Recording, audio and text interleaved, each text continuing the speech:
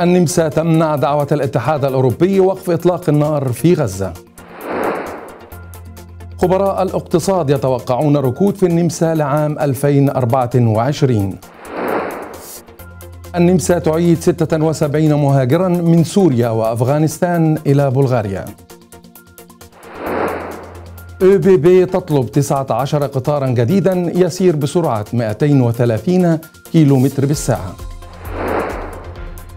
واتهام أحد متاجر فيينا بالتمييز ضد المحجبات. وأخيرا دراسة تكشف أن السجائر الإلكترونية لا تختلف عن العادية.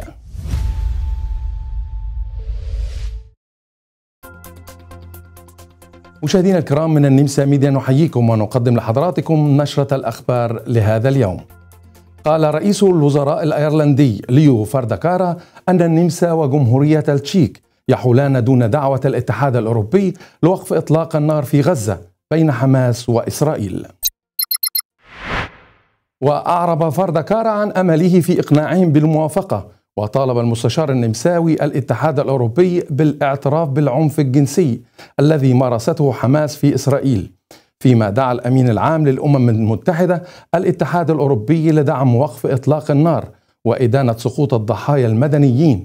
وفي الوقت نفسه لبى عددا من المسلمين دعوة لوزير الخارجية النمساوي لإفطار رمضاني للتعبير عن تعايش الأديان في النمسا.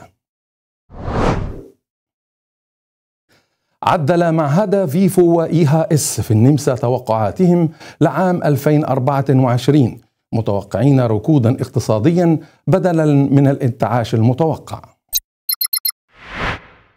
وتوقع فيفو نموا بنسبة 0.2% بينما توقع إيها إس نموا بنسبة 0.5% وتشمل أسباب التراجع ارتفاع أسعار الفائدة وضعف قطاع البناء والإنتاج الصناعي بالمقابل من المتوقع استقرار سوق العمل وانخفاض التضخم. وطالب المعهدان بخفض تكاليف العمل لزيادة الجاذبية للشركات حيث تأثرت النمسا بإلغاء التصاعد البارد وزيادة معدلات الادخار في 2024 أعادت النمسا 76 مهاجرا من سوريا وأفغانستان إلى بلغاريا بموجب اتفاقية دبلن التي تفرض مسؤولية اللجوء على الدولة الأوروبية الأولى التي يصل المهاجرين إليها. وطالب وزير الداخلية النمساوي جيرهارد كارنر في بروكسل أنه من الضروري والعاجل بدء محادثات حول موضوع أعادة النظر في الحظر الذي فرضه الاتحاد الأوروبي على عمليات إعادة اللاجئين إلى سوريا وأفغانستان وتعد بلغاريا محطة مهمة على طريق الهجرة من تركيا إلى دول غرب أوروبا بينما تتهمها منظمات حقوقية بانتهاكات عديدة لحقوق الإنسان. طلبت شركة السكك الحديدية النمساوية أو بي بي 19 قطارا حديثا جديدا من طراز ريال ريال جيت بعد مشاكل تقنية الشتاء الماضي لتنطلق أولى الرحلات في الثامن من أبريل المقبل. وستطلب الشركة 27 مجموعة قطارات بتكلفة 405 مليون يورو من شركة سيمنز وتوفر القطارات الجديدة تحسينات في الراحة والخصوصية بالإضافة إلى تجهيزات عصرية وأماكن للشحن والدراجات وتحسين مطعم القطارات وشبكة الاتصالات والإنترنت وتصل سرعته إلى 230 كيلومتر بالساعة ويتسع ل 532 راكبا.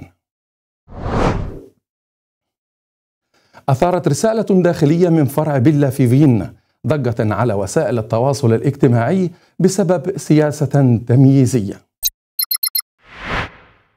وأوضحت الرسالة عن حد أقصى لساعات العمل وأجر معين في أحد أحياء فيينا الراقية مع استبعاد واضح للمحجبات من الوظيفة.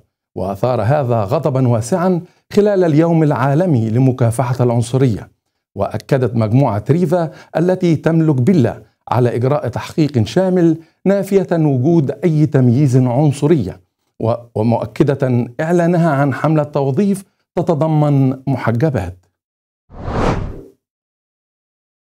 كشفت دراسة جديدة عن تغيرات في الحمض النووي لمستخدمي السجائر الإلكترونية مشابهة لمدخني السجائر التقليدية تعرضهم لزيادة احتمال الإصابة بالسرطان. وأجرى الباحثون بقيادة الدكتورة كيارا هيرتسوغ من جامعة إنسبروك في النمسا دراسة تشير إلى تغيرات جينية كبيرة في الخلايا المبطنة للفم وعلى الرغم من عدم تأكيد الدراسة لعلاقة مباشرة بين السجائر الإلكترونية والسرطان إلى أنها تشير إلى خطورتها وشددت المؤسسة الممولة للدراسة على ضرورة إجراء دراسات إضافية لتحديد تأثيراتها الصحية على المدى الطويل. كانت هذه نشرتنا لهذا اليوم ولا تنسوا تحميل تطبيق إنفوجرات على هواتفكم كنت معكم أنا ممدوح مكين شكرا لحسن المتابعة أمسية سعيدة وإلى اللقاء.